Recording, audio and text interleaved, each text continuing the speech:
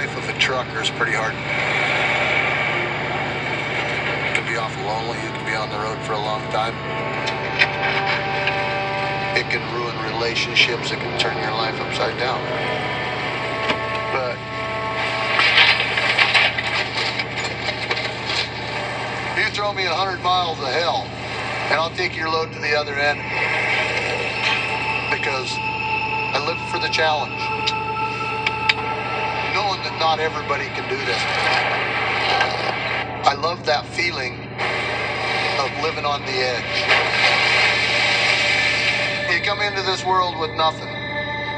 The only thing you leave with is your memories. I will remember this forever.